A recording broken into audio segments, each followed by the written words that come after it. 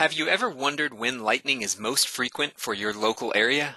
We at the National Weather Service have analyzed over 850 million observed lightning flashes between 1988 and 2017 to provide imagery that captures when lightning occurs most or least for a local area. We hope this imagery leads to safer, more informed decision making for interests that are affected by thunderstorms and lightning. When you reach the map, you'll see a pop-up screen featuring some instructional text and video, like you're viewing now. Click OK and proceed to the map and choose the layer you're most interested in. To do this, move your cursor or finger to the layer icon at the top right. Click the layer icon and choose the layer. It's helpful to just have one layer selected at a time. As of June 2019, you can choose from 10 mile range rings surrounding airports in the continental U.S., National Weather Service fire weather zones, and counties and parishes. I've chosen counties and parishes. Now you can zoom in to the area of the country you're most interested in, either by using your scroll wheel on your mouse, the buttons at the top left, or by using your finger on a mobile device. I'm going to zoom in to the county I live in now, Jackson County, Oregon, and select it by clicking the mouse or tapping with my finger on a mobile device. A pop-up window appears and I have two types of imagery to view. The first imagery highlights the frequency of at least one lightning flash per hour per week of the year. You can see that lightning has a bimodal distribution in Jackson County,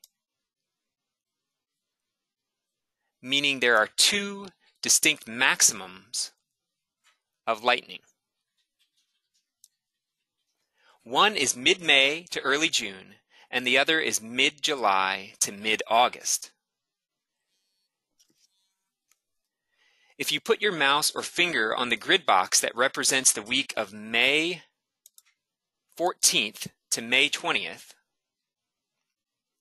between 3 p.m. and 4 p.m. local time, you can see that at least one cloud to ground lightning flash occurred in 40% of the years between 1988 and 2017, between the hour of 3 p.m. to 4 p.m. during the week of May 14th to May 20th. Just three hours earlier in the same week, a cloud-to-ground lightning flash was observed in only 7% of those 30 years.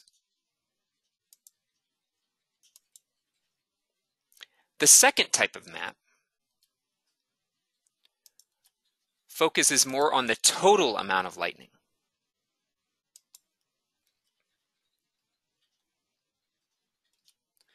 This can tell you when the bulk of the lightning occurs during the year. You can see that in the case of Jackson County, even though the frequency of at least one lightning flash is similar in late May and late July, the total number of flashes that occur in late July is much higher than in late May. You can mouse over any grid box to explore how many total cloud to ground flashes have occurred in a specific hour for any week of the year. Here is the maximum. Almost 1,000 cloud to ground flashes have been observed in the week of August 6th to August 12th between 5 p.m. and 6 p.m. in Jackson County. Additionally, on the total image, you can see what specific week features the most total lightning flashes between 1988 and 2017. For Jackson County, the busiest lightning week is August 6th through, through 12th. We hope you find this imagery useful. And you can provide feedback or learn more about this service by clicking the About button in the top left portion of the map.